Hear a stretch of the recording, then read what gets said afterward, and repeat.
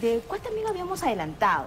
Y que es muy importante, incluso para las personas que en estos momentos tienen familiares en los Estados Unidos y tal vez tenga información que se ha casado con un estadounidense y tiene más de 10 años, pues mucha atención, ¿eh?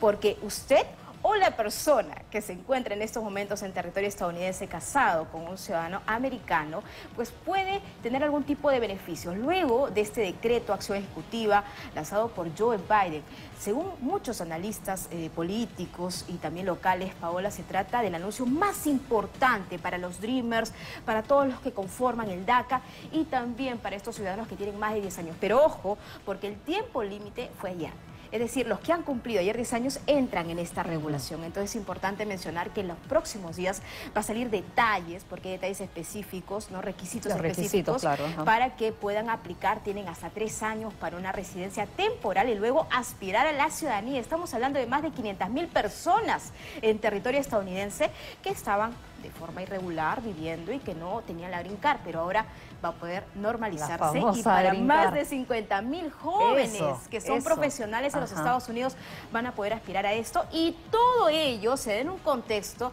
de estas elecciones de noviembre a la Casa Blanca. Y eso quería comentar, ¿no? Porque esa es una medida genuina, ¿no? Eso tiene todo un trasfondo.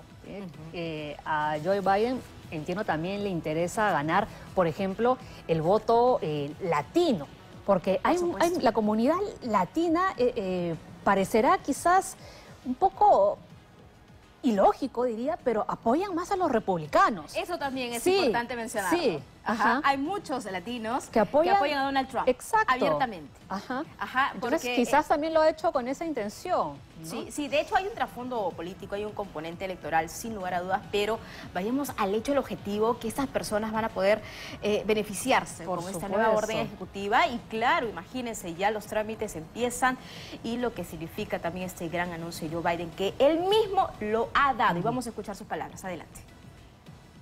So today I'm announcing new measures to clarify and speed up work visas to help people, including dreamers, who have graduated from U.S. colleges and universities, landed jobs in high-demand, high-skilled professions mm-hmm. that we need to have to grow to see our economy grow. The second action I'm announcing today is, is about keeping families together, about keeping couples together who are married, where one spouse is a U.S. citizen, the other is undocumented. They've been living in the United States for at least 10 years. Bueno, ahí está el anuncio completo, lo han escuchado ustedes mismos luego de esta explicación. Entonces, mucha expectativa y, también estar muy atentos de lo que se necesite.